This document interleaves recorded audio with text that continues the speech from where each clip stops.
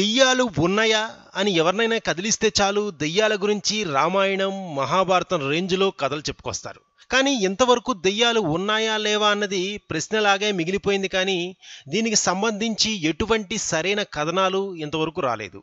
అయితే మన భారతీయ రోడ్ల మీద కొన్ని దెయ్యాలు ప్రజల్ని భయభ్రాంతులకు గురిచేస్తున్నాయట మన దేశంలో గల్లా ఏ ఏ రహదారుల్లో దెయ్యాలు ఉన్నాయి మరి దాని వెనకున్న అసలు కథ ఏంటో తెలుసుకోవాలంటే ఈ వీడియో చూడాల్సిందే మరి. మొదటగా కల్కా సిమ్లా రైల్వే సొరంగం గురించి తెలుసుకుందాం.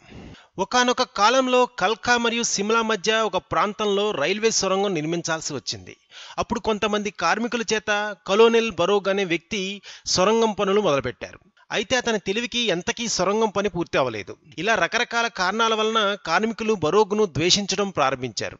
ఇది భరించలేని బరోగ్ ఆ సొరంగ నిర్మాణంలో కాల్చుకుని చనిపోయాడు. ఆ తర్వాత అతడిని అక్కడ ఖననం చేశారు కూడా.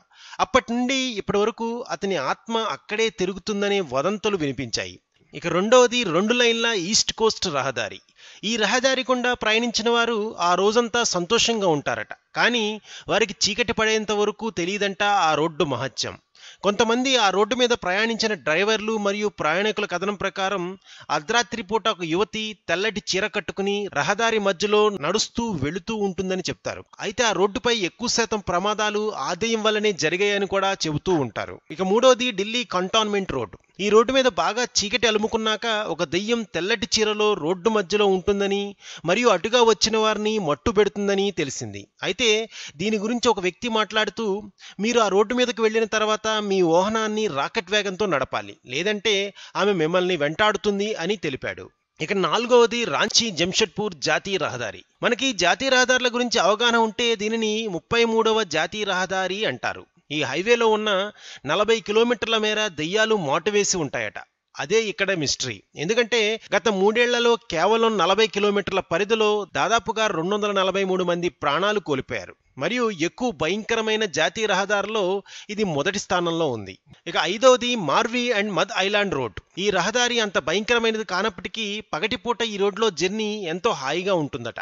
అయితే రాత్రి వేళలో దీనికి పూర్తి విరుద్ధంగా ఉంటుంది. ఎందుకంటే ఒక మహిళ పెళ్ళి దుస్తులు ధరించి పెళ్ళి కూతురు వేషధారణలో అటు వెళ్ళేవారికి ముచ్చెమట్లు పట్టిస్తుందట. అంతేకాకుండా అటుగా వెళ్ళేవారికి వినపడేలా వింత వింత శబ్దాలు సృష్టిస్తూ తీవ్ర భయభ్రాంతులకు గురిచేస్తుందట ఇది కూడా మిస్టరీగానే మిగిలిపోయింది. ఇక ఆరవది ముంబై నాసిక్ జాతీయ రహదారి. దెయ్యాలకు స్థావరాలుగా ముంబై మరియు నాసిక్ మీద కాసర్ఘాట్ అనే ప్రాంతం ప్రసిద్ధిగాంచింది. ఈ జాతీయ రహదారి మీద కాసర్ఘాట్ అనే ప్రాంతంలోకి వాహనాలు వెళ్ళేసరికి అక్కడ చుట్టుప్రక్కల ఉన్న అడవిలోని చెట్లు మరియు పొదలు ఎంతో భయంకరంగా ఊగుతూ ఉంటాయి. ఆ చెట్ల మీదే తలలేని మహిళ దర్శనమిస్తుందట. ఆ దృశ్యాన్ని చూసిన వారందరూ స్పృహ కోల్పోయి ప్రమాదానికి దారితీస్తుందని తెలుస్తుంది. ఇక ఏడవది రెండు వందల తొమ్మిది జాతీయ రహదారి సత్యమంగళం. సత్యమంగళం వన్యప్రాణి అభయారణ్యం. ఇది ఒకప్పుడు కూసి మునిస్వామి వీరప్పన్ తలదాచుకునే ప్రాంతం. అప్పట్లో ఇతను ఇక్కడ డబ్బు కోసం అటుగా వెళ్ళేవారిని వెంబడించేవాడట. అయితే వీరప్పన్ చినిపోయే కూడా అదే విధంగా చీకట్లో లైట్లు వెలిగేవి. మరియు భయానకమైన శబ్దాలు వినిపించేవి అని కొంతమంది కథనం. అంటే దీని అర్థం అక్కడ వీరప్పన్ ఆత్మ ఏదైనా తిరుగుతూ ఉంటుందా అనేది కూడా ఒక మిస్టరీగా మారింది. ఇక ఎనిమిదోది కాషేడి ఘాట్ ముంబై గోవా హైవే. ముంబై గోవా రహదారి మధ్యలో వచ్చే కాసేడి ఘాట్ రోడ్ మరొక మిస్టరీకి నెలవు. ఎందుకంటే ఈ ఘాట్ రోడ్ ఎంతో ఎత్తులో ఉంటుంది మరియు చాలా వరకు మలుపులతో కూడుకున్నది. అయితే అటుగా వెళ్ళే కార్లు లేదా బస్సులు మలుపుల వద్ద తిరుగుతున్న సమయంలో కుడివైపు చేతి నుంచి ఒక వ్యక్తి వచ్చి ఉన్నట్లుండి స్టాప్ అనే సంకేతాన్ని చూపిస్తాడు. ఆ తరుణంలో డ్రైవర్లు భయపడి వాహనాన్ని అలాగే లోయలోకి నడిపిస్తారు.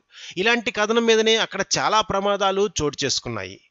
ఇక తొమ్మిదవది చెన్నైలోని బెసెంత్ అవెన్యూ రోడ్డు. ఈ రోడ్డుకు కూడా ఒక కథ ఉంది. ఈ రోడ్డు పగలంతా సందడిగానే ఉంటుంది. అయితే చీకటి పడే కొద్దీ అక్కడి పరిస్థితులు మారుతూ ఉంటాయి.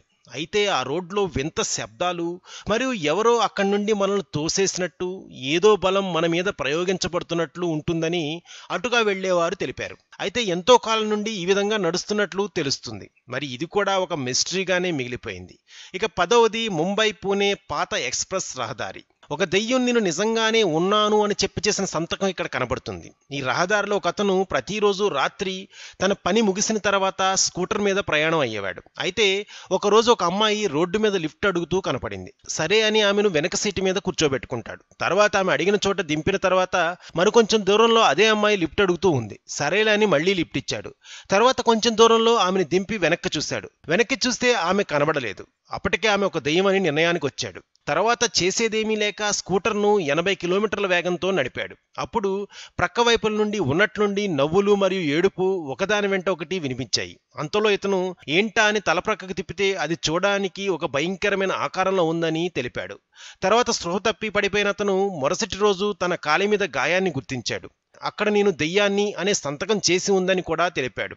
మరి ఈ కథలో ఎంత నిజముందో తెలియదు కానీ దెయ్యాలు ఉన్నాయా లేవా అనేది ఒకరు చెబితే తెలిపే రహస్యం కాదు. స్వయంగా అనుభవాన్ని పొందాలి లేదా అనుకోకుండా వాటిని చూస్తే తప్ప అది మనం తెలుసుకోలేము. మరిన్ని ఆసక్తికర విశేషాల కోసం please subscribe to rec TV mystery